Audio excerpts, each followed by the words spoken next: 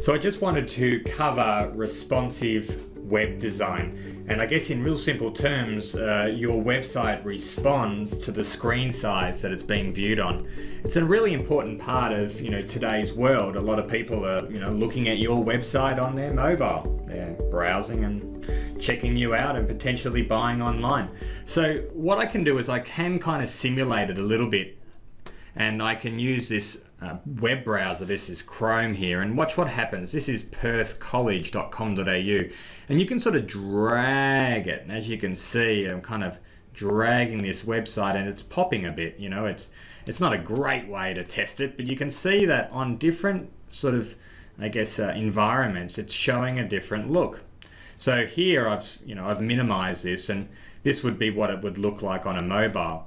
Um, and if I stretch it out a bit, this is maybe what it would look like on a an iPad or a, or a tablet. Um, in fact, I've got my mobile on the go here. You can see my own website. You know, this is uh, sort of been designed to be mobile friendly, responsive. Let's have a little look at uh, Perth College. We can have a look at their website on, on the mobile too. And, uh, you know, it'll, it'll sort of show you what it looks like. So, see, that's simulating it right there.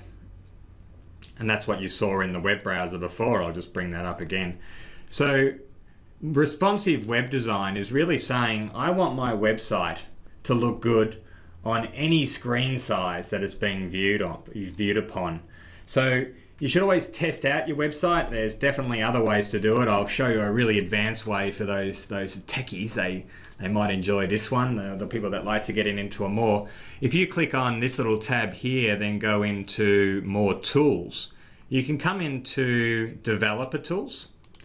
I love this part. You can go into developer tools and then this little icon right here, here I believe, allows you to resize it. Now, if I click on this one, I can choose a device.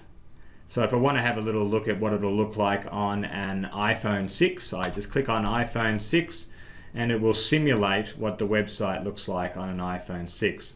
So that's in a Chrome browser. Some people might like to go to that level, um, some people might not, uh, but I always like to show different people, uh, depending on your skill sets, about uh, yeah what you can do and how the web world can help you.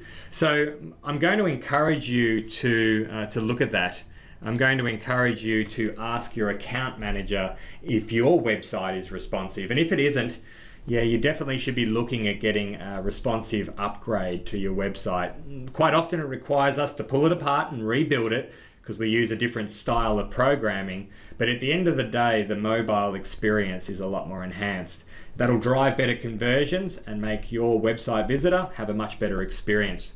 So that's Tim's tip of the week. Uh, hopefully, that will get you on the path of navigating the digital world a little bit easier.